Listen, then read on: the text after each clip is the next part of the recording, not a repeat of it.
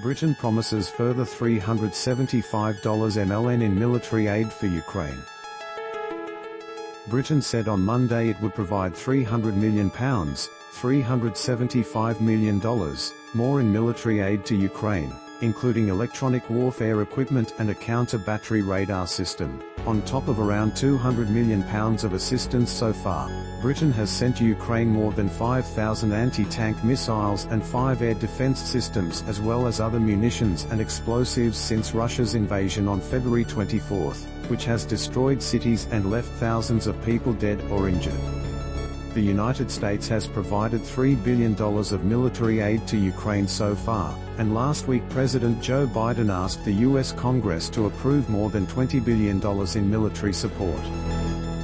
Russia last week said NATO countries were in effect engaging in a proxy war by providing arms to Ukraine where it says it is conducting a special operation to disarm the country and rid it of anti-Russian nationalism fomented by the West Ukraine and the West say Russia launched an unprovoked war of aggression to seize territory, which threatens to spiral into a much wider conflict.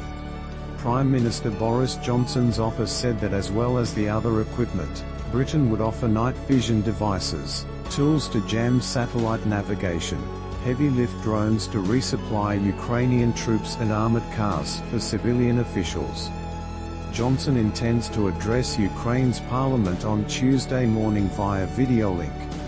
Your children and grandchildren will say that Ukrainians taught the world that the brute force of an aggressor counts for nothing against the moral force of a people determined to be free, Johnson plans to say, according a speech extract provided by his office. While Britain has provided significant military aid, it has so far accepted relatively few of the more than 5 million Ukrainians who have fled their country.